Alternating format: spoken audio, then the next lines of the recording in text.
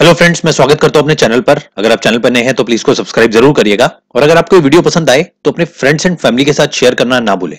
आज हम बात करने वाले हैं एस आईपीओ का जो अलॉटमेंट है, वो कब और कहाँ चेक करें।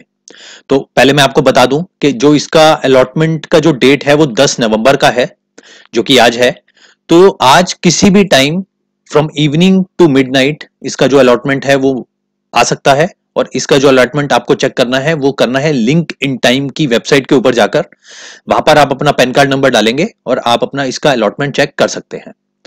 ठीक है, वहीं हम बात करें इसके ग्रे मार्केट प्रीमियम के बारे में। तो इसका जो grey market premium for the price 542 का जो इसका शेयर का प्राइस था, उसके अगेंस्ट में मात्र 15 से 20 रुपए के आसपास का जो ग्रे मार्केट प्रीमियम में चल रहा है।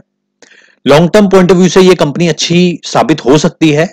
तो अगर आपको अलॉटमेंट मिला है और अगर आप लॉन्ग टर्म इन्वेस्टर हैं तो आप इस पर्टिकुलर शेयर को अपने पोर्टफोलियो में होल्ड कर सकते हैं नो इश्यू ओके और अगर आप शॉर्ट टर्म इन्वेस्टर हैं तो हल्के फुल्की लिस्टिंग गेन के साथ आप इसमें से एग्जिट ले सकते हैं।